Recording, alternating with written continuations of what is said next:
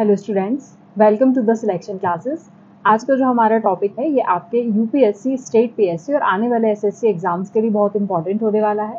आज हम important passes in India के बारे में बात करने वाले हैं, क्योंकि इनसे आपको क्वेश्चंस हमेशा एग्ज़ाम में देखने के लिए मिल जाते हैं। तो पहले मैं आपको कुछ पासिस के बारे में जानकारी दूँगी, उसके बाद हम इसके कुछ क्वेश्चन आपके साथ सॉल्व करेंगे। वीडियो अगर पसंद आएगा तो इसे लाइक करना ना भूलिएगा चैनल को सब्सक्राइब कर लीजिएगा और अपने दोस्तों के साथ शेयर करिए। जो भी मैं पढ़ा रही हूँ, उसका अगर आप पीडीएफ चाहते हैं तो हमारे टेलीग्राम चैनल से जुड़ जाइए, जहाँ पर हम जो भी पढ़ाते हैं, उसका पीडीएफ आपको मिल जाता है। तो चलिए वीडियो स्टार्ट करते हैं। सबसे पहले पास जो आज हम पढ़ रहे हैं, वो है नाथुला पास। अगर मैं इसके लोकेशन की बात करूँगी तो ये आपको सिक्किम में देखने के लिए मिल जाता है। तो इससे ध्यान रखेंगे। देखिए लोकेशन ही सबसे ज़्यादा पूछी जाती है। तो इससे ध्यान रखना है तो ये आपको सिक्किम में देखने के लिए मिलता है। और ज़्यादा इसमें इंपॉर्टेंट ये बात है कि चाइना की बॉर्डर बनाता है कहीं ना कहीं 2006 से ये वर्किंग पे है। तो ये थोड़ा सा ध्यान रखें। उसके बाद एक आता है शिपकेला पास के बारे में मैं बात कर लेती हूँ। तो ये आपको सतलज नदी के पास में देखने के लिए मिल जाता है और ये हिमाचल प्रदेश को तिब्बत से कनेक्ट करने का काम करता है।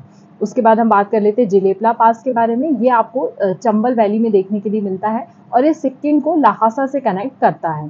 देन उसके बाद क्वारा तांग पास करके है। ये आपको काराकोरा माउंटेन्स पे देखने के लिए मिल जाता है। और ये जो हमारा एंशंट सिल्क रूटीन है उस रूट था जो उस पर ये आता था।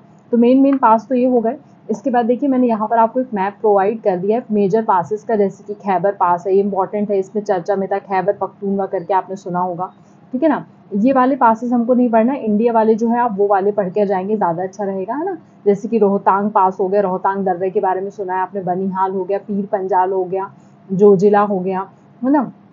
खारदुंगला हो गया देन उसके बाद यहाँ पे काराकोरम पास है, फिर उसके बाद चांगला है, लानकला है लापसंगला है, जानाला है, इमसीला है, ये सारे पासेस एक बार आप लोग पढ़ लेंगे, ठीक है?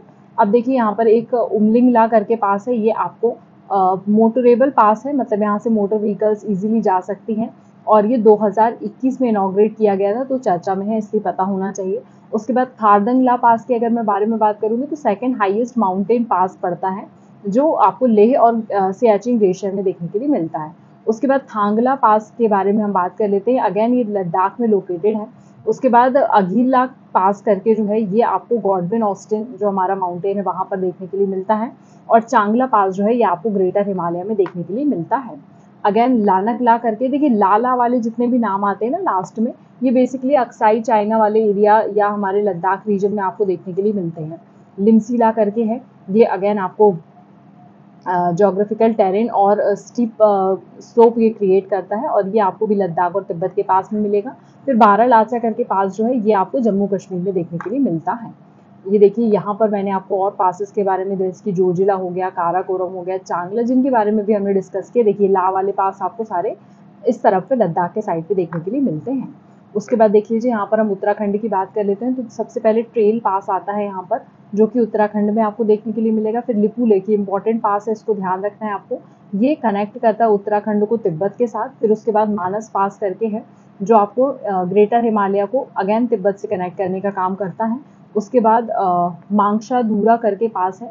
ये उत्तराखंड और तिब्बत में एक लैंडस्लाइड के लिए फ़ेमस था तो इसे ध्यान रखना है। देन उसके बाद मुलिंगला करके पास है, जो ये आपको नॉर्थ गंगोत्री में देखने के लिए मिलता है। अगेन उत्तराखंड में ही है। नीति पास यहाँ का इंपॉर्टेंट है, इसे ध्यान रखना है। ये उत्तराखंड को तिब्बत से ज्वाइन करने का काम करता है। फिर उसके बाद देवसा पास है, जो स्पीति वैली और पार्वती वैली पर आपको देखने के लिए मिलता है। और रोहतांग पास जो है, ये हिमाचल प्रदेश में आपको देखने के लिए मिलता है। सॉरी फिर उसके बाद नदर्न स्टेट्स की हम बात करते हैं नॉर्थ ईस्टर्न स्टेट्स की तो यहाँ पर बॉम्दिला पास है, ये इंपॉर्टेंट है अरुणाचल प्रदेश में आपको देखने के लिए मिलता है। देन उसके बाद दिहांग पास है अगेन ये भी इंपॉर्टेंट है, ये भी आपको अरुणाचल प्रदेश में देखने के लिए मिलता है, और ये म्यांमार को कनेक्ट करता हुआ दिखेगा। दीफू पास करके है अगेन माउंटेन एरिया है इंडिया चाइना और म्यांमार को कनेक्टिविटी प्रोवाइड करता है, इसे ध्यान रखेंगे। 1960 में डिमार्केट किया था इसका बॉर्डर दीफू पास का चाइना और बर्मा के द्वारा। तो ये आप लोगों को ध्यान रखना है। इसके बाद ये थोड़ा सा डिस्प्यूटेड एरिया है तो इसको पढ़ लेंगे। देन उसके बाद सांगसो पास करके है, ये भी आपको अरुणाचल प्रदेश में देखने के लिए मिलता है। ना? जो भी इंफॉर्मेशन ज़रूरी थी, वो मैंने इसमें पुट कर दी। एक बार आप उसको देख लीजिएगा। यहाँ पर एक टूजू पास करके है, इसे ध्यान रखेंगे आप लोग, किस एरिया में आता है। दीफू पास यहाँ पर एक ही है। ये सारे अरुणाचल प्रदेश का एरिया ठीक है ना? ये नागालैंड का पोर्शन है, मणिपुर, मिजोरम, है ना? इसको एक बार देख लेंगे। नेक्स्ट भी है कश्मीर में कौन कौन से हैं? तो बनिहाल पास ही मैंने आपको दिखा दिया था ऑलरेडी इसको देख लेंगे। फिर उसके बाद जो जोजिला पास है ये, कारगिल और लेह के बीच में मोस्ट इंपॉर्टेंट है, श्रीनगर को कनेक्ट करता है। फिर बुर्जिल पास है ये आपको एस्टोर वैली में देखने के लिए मिलता है। पेंसिला पास है जो ये कश्मीर वैली और कारगिल को कनेक्ट करता है और उसके बाद पीर पंजाल पास जो है वो जम्मू कश्मीर को श्रीनगर से कनेक्ट करने का काम करता है। देन उसके बाद हम पास की बात कर लेते हैं जो साउथ ईस्ट में आपको देख सॉरी सदर्न एरिया में देखने के लिए मिलते हैं। सबसे पहला जो है मदुराई कोयाटम पास है, इसको ध्यान रखना है, वेस्टर्न घाट में आपको मिलेगा। फिर यहाँ पर देखिए भोर घाट है, ये भोर घाट भी आपको देखने के लिए मिल जाता है वेस्टर्न घाट में। और कहाँ पर कांडला करके आपने एक जगह सुनी होगी, पोर्ट भी है ना, वहाँ पर आपको देखने के लिए मिलेगा महाराष्ट्र साइड पे। देन उसके बाद ताल घाट की हम बात कर लेते हैं। तो इसको तुल घाट भी कहते हैं। और इसके बारे में ध्यान रखना है आपको, ये महाराष्ट्र को और मुंबई नासिक रूट को कनेक्ट करता है, ये ध्यान रखेंगे। फिर एक पाल घाट है, ये भी इंपॉर्टेंट है, ये आपको तमिलनाडु और केरला के पास देखने के लिए मिल जाता है। तो इसे भी आप लोगों को ध्यान रखना है। अदर इन्फॉर्मेशन डिटेल्स जो भी थी, वो मैंने आप लोगों को इसमें प्रोवाइड कर दी, उसे एक बार आप लोग देख लीजिए, ठीक है?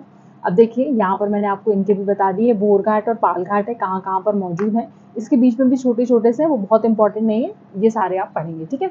अब देखिए, यहाँ पर मैंने आप लोगों के लिए कुछ क्वेश्चन दिए हैं, हो सकता है इस पर कुछ अगर आपको डाउट आएगा तो आप पूछ सकते हैं, लेकिन फिर भी अगर आप इसको पढ़ेंगे तो इजीली सॉल्व कर सकते हैं। जैसे कि फ़र्स्ट में which of the following is Himalayan pass तो देखिए, बनिहाल पास आपको देखने के लिए मिलता है। बाकी पाल घाट शैनकोटा और ताल घाट ये मैंने आपको सदर्न साइड में पढ़ाए हैं। तो इसका ऑप्शन क्या हो जाता है? ऑप्शन ए यहाँ पर करेक्ट होता है। इस तरह के क्वेश्चन देखने के लिए मिलते हैं एग्ज़ाम में। Which of the following pass situated between Doda and Anantnag Jammu and Kashmir तो देखिए जम्मू कश्मीर के भी आपने पढ़े हुए हैं। तो ये बनिहाल पास जो है, इसका ऑप्शन ए जो है, वो यहाँ पर करेक्ट होता है।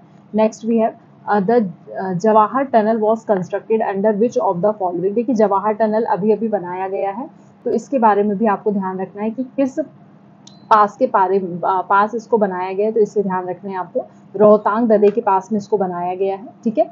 इस तरह से आप सारे क्वेश्चन एक बार कर लीजिएगा। हो सकता है आपको, अगर किसी में कोई डाउट आता है तो पूछ सकते हैं, ठीक है? देन उसके बाद Himalayan pass situated between India and China तो शिप के लिए आपको ध्यान रखना है। देन उसके बाद which of the following is a trans Himalayan pass देखिए, हिमालय के अलग अलग पार्ट होते हैं ना। ये मैंने आपको कुछ वीडियोस में भी पढ़ाया है। मैं अलग से हिमालय पर एक वीडियो लेकर आऊँगी सेपरेट जिसमें हिमालय की नदियों के बारे में हम डिस्कस करेंगे। कौन कौन सी उस चीज़ों में उसको डिवाइड कर सकते हैं, वो मैं बता दूँगी। तो उसे एक बार आप इसको पढ़ लीजिएगा। बहुत ज़्यादा इंपॉर्टेंट हो जाएगा। ठीक है?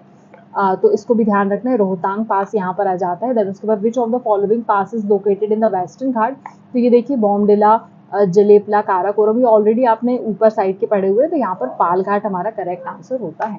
ठीक है? तो यहाँ पर हमने आज सारे पासिस कंप्लीट कर लिए आई होप वीडियो आपको पसंद आया होगा। अगर अच्छा लगे तो इसे लाइक करना ना भूलिएगा। अपने दोस्तों के साथ शेयर करिए और चैनल को सब्सक्राइब करिए। ऐसे ही छोटे छोटे इंपॉर्टेंट टॉपिक्स हम आपके लिए लेकर आएँगे, जो कि आपके आने वाले स्टेट पीएससी एग्ज़ाम्स या फिर मैं अगर बात करूँ एसएससी एग्ज़ाम्स की तो उनके लिए बहुत ज़्यादा इंपॉर्टेंट होने वाले हैं। इनको प्रैक्टिस करते जाइए और सुनिश्चित कर सकते हैं आप अपनी सीट ठीक है? आई होप वीडियो आपको अच्छा लगा होगा। धन्यवाद।